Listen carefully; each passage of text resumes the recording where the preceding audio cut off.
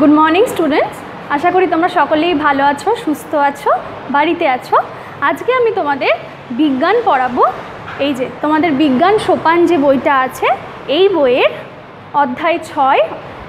চ্যাপ্টারটার নাম হচ্ছে ফল আর page number একুশ। তো চ্যাপ্টারটার নাম হচ্ছে ফল। ফল তো আমরা প্রায় প্রত্যেকেই কম বেশি খেয়ে থাকি। এই ফল কিন্তু এক এক ধরনের সিজনে অর্থাৎ এক এক ঋতুতে এক এক ধরনের ফল পাওয়া যায়। আবার কিছু কিছু ফল আছে যেগুলো আমরা সারা বছরই পেয়ে থাকি। দেখো বলছে, আমরা বাজারে গেলে নানান ঋতুতে নানান ফল দেখতে পাই। ভারতের জাতীয় ফল কি? তোমরা প্রত্যেকেই জানো, আম।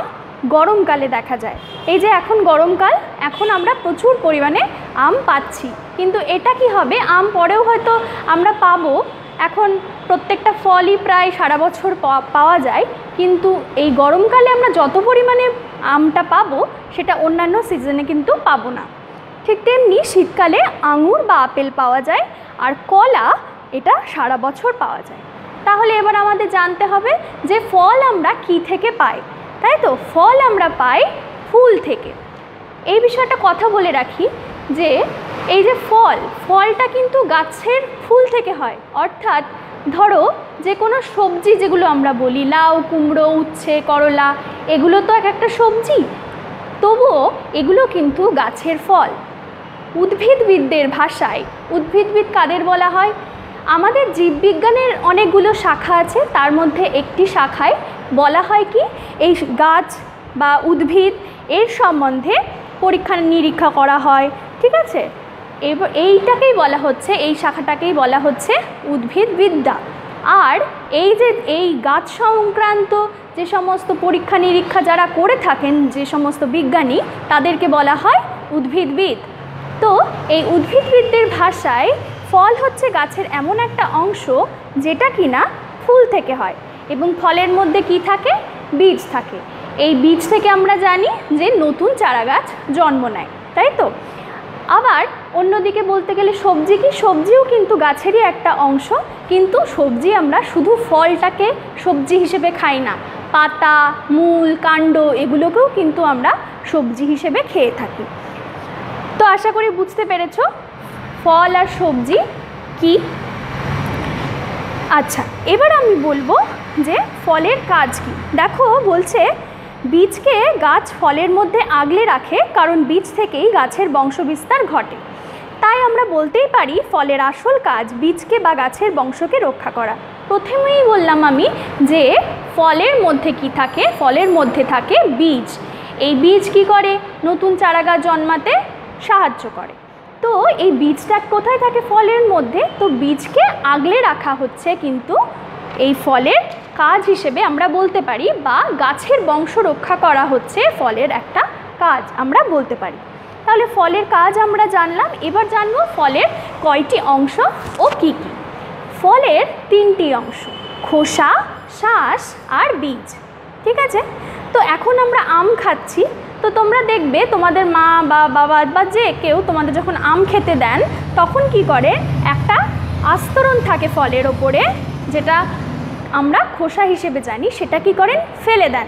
তারপরে আমরা একটা অংশ যেটা খাই সে মাংসল অংশটা হচ্ছে শ্বাস এবং তারপরে যে বীজটা বা আঠি বলো তোমরা যেটাকে, সেটা আমরা ফেলে দিই, সেটাই হচ্ছে বীজ। তাহলে দেখো বলছে, ফলের উপরে থাকে খোসা। আর এই খোসা কি? আমরা যেমন জামা কাপড় পরে নিজেদের রক্ষা করি, ঠিক তেমনই খোসা ফলের শ্বাস ও বীজকে রক্ষা করে। দেখবে আমরা শীতকালে উলেন ক্লথস অর্থাৎ শীতের যে গরম জামা কাপড় উলের জামা কাপড় যেগুলো, সেগুলো পরি। কেন? যাতে আমরা শীত থেকে রক্ষা পাই। আমরা জামা কাপড় পরি আমাদের ত্বককে বাঁচানোর জন্য, রোদের থেকে বাঁচানোর জন্য।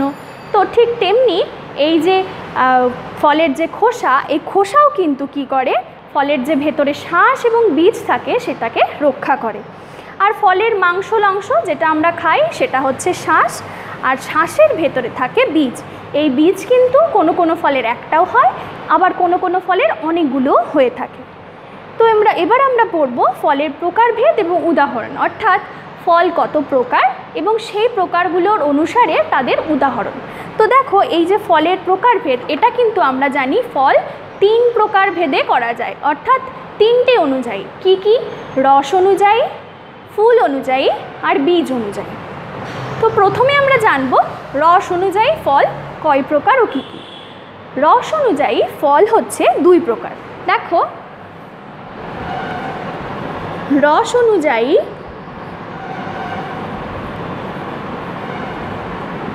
ফল দুই প্রকার। একটা হচ্ছে সরস ফল বা রসালো ফল, আর একটা হচ্ছে নিরস ফল বা শুকনো ফল। তো সরস ফল কাকে বলে?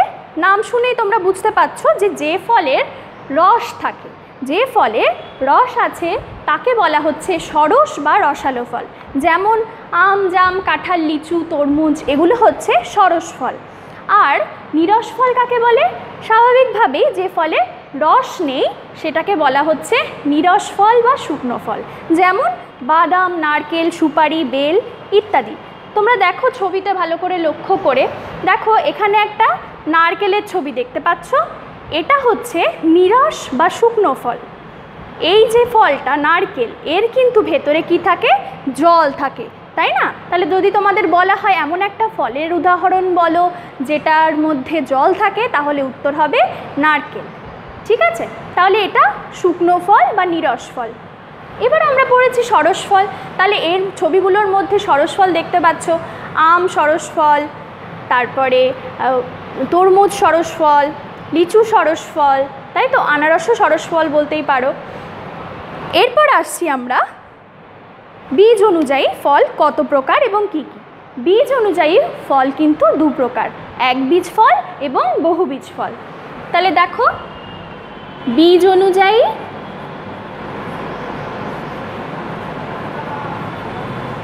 ফল দু প্রকার। একটা হচ্ছে এক বীজ, আর একটা হচ্ছে বহু বীজ।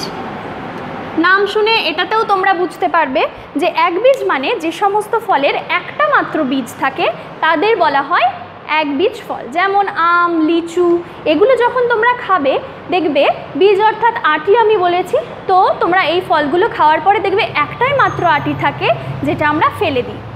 ঠিক আছে? আর বহুবীজ ফল কোনগুলো?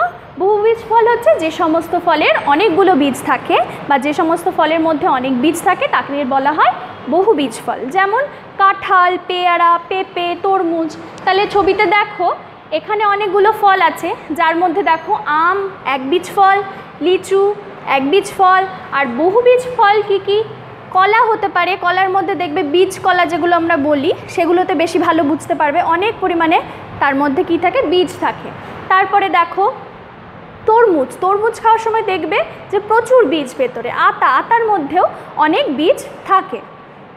এরপর আসছি আমরা কি? এরপর আসব আমরা ফুল অনুসারে ফল কত প্রকার এবং কি কি? তাহলে ফুল অনুসারে কিন্তু ফল হচ্ছে তিন প্রকার। ফুল অনুসারে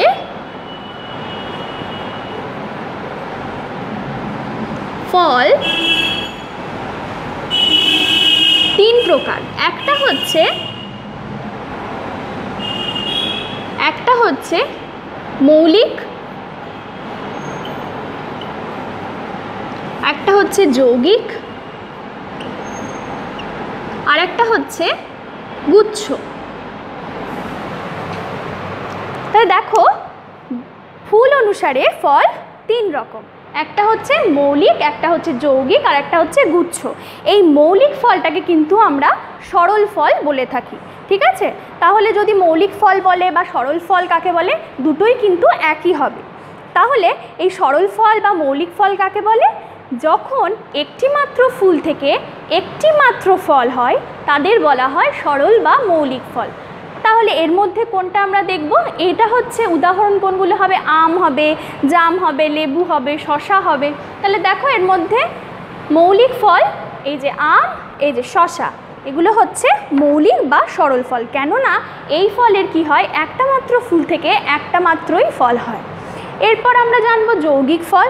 যৌগিক ফল হচ্ছে যখন অনেকগুলো ফুল থেকে একটা মাত্র ফল হয়, তখন তাকে বলা হয় যৌগিক ফল। যেমন ধরো আনারস। দেখো এখানে আনারসের ছবি আছে, এই আনারসের কি হয়? অনেকগুলো ফুল থেকে একটা মাত্রই ফল জন্মায়, তাই একে বলা হচ্ছে যৌগিক ফল। আর লাস্ট থাকল কি? গুচ্ছ ফল। গুচ্ছ ফল হচ্ছে এই যে আতা। কেন? কেননা এর কি হয়? একটা মাত্র ফুল থেকে অনেকগুলো ফল হয়, তাই একে বলা হচ্ছে গুচ্ছ ফল তাহলে গুচ্ছ ফলের উদাহরণ কিন্তু আতা। কিন্তু যদি বলা হয় গুচ্ছ ফল কাকে বলে? তখন বলবে যে যখন একটি মাত্র ফুল থেকে অনেকগুলো ফল হয়, তখন তাকে বলা হয় গুচ্ছ ফল তাহলে আশা করি মোটামুটি তোমরা ফলের প্রকারভেদটা বুঝেছ। এইবার দেখো, তোমরা এখানে একটা ছবি দেখতে পাচ্ছ, সবই আমি বলেছি। এই যে একটা, এটা হচ্ছে কি? উচ্ছের ছবি বা করলা, তাই তো? উচ্ছের ছবি। তো এটা কি? তোমরা বলতেই পারো যে এটা তো সবজি। আমি কিন্তু পড়ানোর প্রথমেই বলে দিয়েছি যে যে কোনো সবজিও কিন্তু গাছের ফল, ঠিক আছে? তাই সেই জন্যই এটা কিন্তু একটা তেতো ফলের উদাহরণ। ঠিক তেমনি এটা যেমন তেতো ফলের উদাহরণ, মিষ্টি ফল কোনগুলো? মিষ্টি ফল হচ্ছে আম, জাম, কাঁঠাল, লিচু, এগুলো হচ্ছে মিষ্টি ফল। টক ফল কোনগুলো? তেঁতুল, চালতা, এগুলো হচ্ছে কি ফল? টক ফল। তাহলে স্বাদ অনুসারেও কিন্তু ফলের প্রকারভেদ হচ্ছে। বা তোমরা বলতে পারো আলাদা আলাদা স্বাদ যে ফলের, সেই প্রকারভেদ হচ্ছে। এবার আমরা জানব যে বিভিন্ন ঋতুর ফলের নাম। আমরা প্রথমেই এই পড়ার ফার্স্টেই রয়েছে যে বিভিন্ন ঋতুতে আমরা বিভিন্ন ফল খাই। ঠিক তেমনি উদাহরণগুলো তাহলে আমাদের জানা প্রয়োজন। তাহলে আমরা প্রথমে জানব গ্রীষ্মকালে অর্থাৎ গরমকালে কি কি ফল পাওয়া যায়। গ্রীষ্মকালে আমরা আম, জাম, কাঁঠাল, লিচু, তরমুজ, জামরুল এগুলো বেশি পরিমাণে পেয়ে থাকি। বর্ষাকালে আমরা কি পাই? বর্ষাকালে আমরা আনারস, তাল, পেয়ারা ইত্যাদি পেয়ে থাকি। আর শীতকালে আমরা পাই কমলা লেবু, আপেল, বেদানা, আঙুর, কুল ইত্যাদি। কুল তোমরা জানোই, কেননা শীতকালে যখন সরস্বতী পুজো হয়, সেই সময় আমরা প্রচুর পরিমাণে কুল খাই। সরস্বতী পুজো না হওয়ার আগে অনেকেই আছে যারা কুল খাই না আমরা, তাই না? এবার আসছি যে এমন ফলের নাম যেগুলো কিনা সারা বছর পাওয়া যায়। সারা বছর পাওয়া যায় কলা, শসা, পেঁপে, বাদাম, নারকেল, এগুলো আমরা সারা বছরই প্রায় পেয়ে থাকি। কিন্তু এখন কিন্তু প্রায় প্রত্যেকটা ফলই সারা বছর পাওয়া যাচ্ছে কারণ চাষ সেভাবে করা হচ্ছে। কিন্তু যেগুলো মেন সিজন সেই সিজনের ফল কিন্তু আমরা কীভাবে যেমন গরমকালের আম, আমরা গরমকালে প্রচুর পরিমাণে পাবো। ঠিক আছে? এরপর আসছি যে ফলের যে নানান অংশ আছে, সেইগুলোরও কাজ আছে। ফল আমরা শুধু খাই, তা তো না। ফল যেমন আমরা খাই, ফল পুজোর কাজে ব্যবহৃত হয়, তাই তো? আচ্ছা এবার একটা ফল তোমরা দেখতে পাচ্ছ, এই যে নারকেল। নারকেলের যে ছোবড়াটা, অর্থাৎ বাইরের যে খোসাটা, সেটা তো ফলের একটা অংশ। তো এই ছোবড়াটা দিয়ে কি হয়? বিছানার গদি তৈরি হয়। ঠিক আছে? তারপরে কার্পাস ফল থেকে আমরা তুলো পাই। আঙুর শুকনো করে আমরা কিশমিশ খাই। আর কি, পোস্ত গাছের ফল থেকে আমরা কি পাই? আফিং পাই।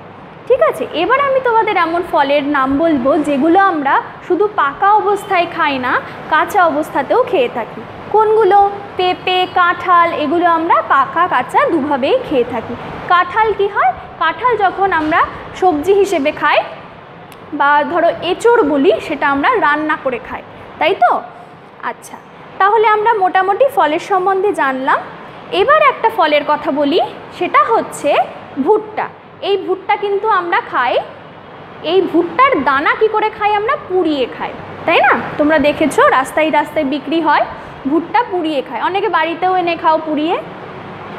এবার আর একটা ফলের নাম বলি, যেটা কিনা হচ্ছে বেল। এই বেলকে কি বলা হয়? শ্রীফল বলা হয়। কেন বলা হয়? কারণ আমরা যারা হিন্দু, আমাদের পুজো অর্চনার ক্ষেত্রে এই বেলের নানান অংশ কাজে লাগে।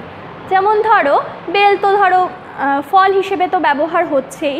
তাছাড়াও এই বেল গাছের কাঠ, বেলের পাতা, এগুলো কিন্তু আমাদের পুজোর ক্ষেত্রে ভীষণভাবে দরকার হয়। তো এই যেহেতু যেহেতু এই যে ফলের অংশগুলো আমরা কাজে লাগাচ্ছি পুজো অর্চনার ক্ষেত্রে, সেই জন্য এই ফলটার নাম হচ্ছে শ্রীফল। ঠিক আছে? তাহলে আশা করি ফল সম্বন্ধে তোমাদের মোটামুটি ধারণা হয়ে গেছে।